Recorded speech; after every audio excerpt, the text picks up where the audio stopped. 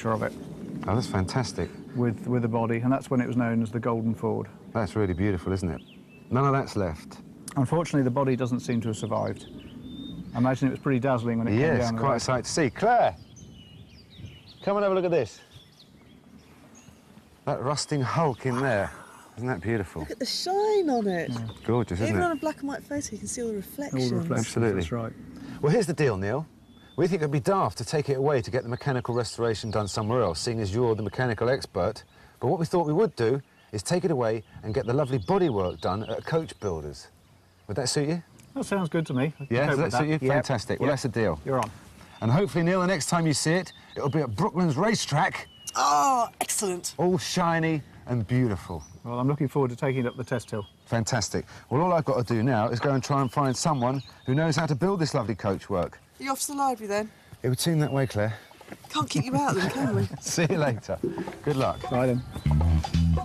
Our goal is to have the Golden Ford screaming along the famous home banking, what's left of the Brooklands racetrack, the world's first purpose-built motor racing circuit.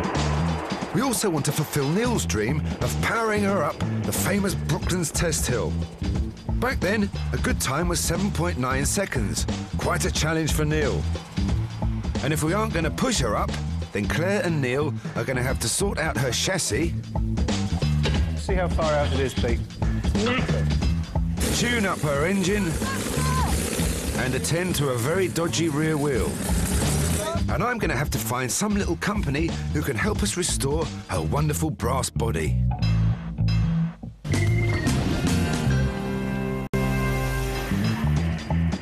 This week's challenge takes us to the dawn of the automobile. It's a 1911 Model T Ford.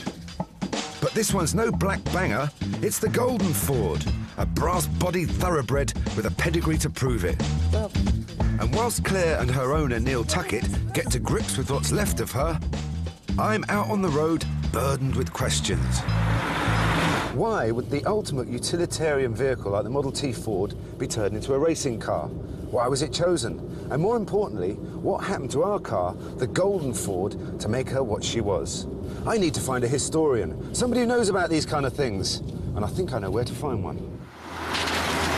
Right, Neil, I know it's in one hell of a state, but we're going to start Back it in the workshop, and Neil and I are thinking about sparking her up. It sounds like absolute madness, doesn't it? But it does work. These things, they're so simple that if you put a battery on it and you set fire to it, it sometimes works. Right, you jack the back wheel up. Yeah. Because that makes life easier. Normally, I'd be a bit wary about starting up an